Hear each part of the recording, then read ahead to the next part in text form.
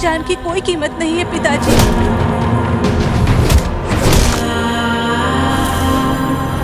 ये हम पे जुल्म करके हमारी खून पसीने की कमाई लूट रहे हैं।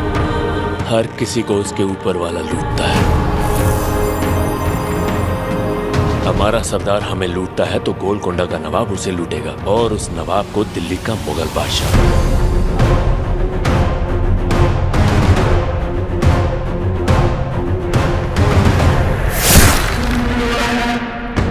सभी लुटेरे जो हमारे ऊपर हैं, उनको लूटने के लिए भगवान किसी न किसी को भेजेगा।